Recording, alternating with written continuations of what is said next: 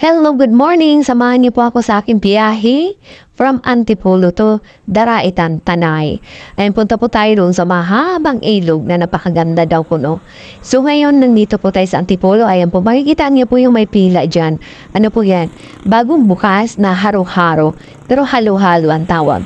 Marami silang singers, eh, siniserve dyan na pangpalamig ng panahon o pangpalamig ng ulo. So, ayan po, araw-araw po yan. So, let's go!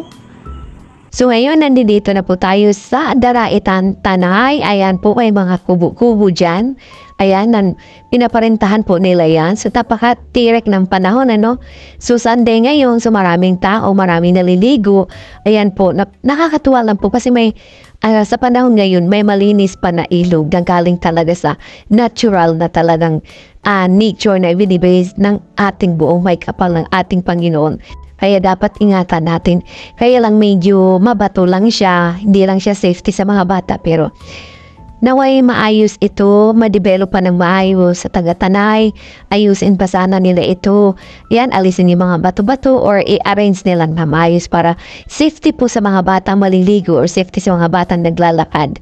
Ayan, pwede rin dyan kapag naayos ito, maglalaro, mag-badminton, at kung ano-ano pang mga mga activities na magagawa. So, thank you for watching.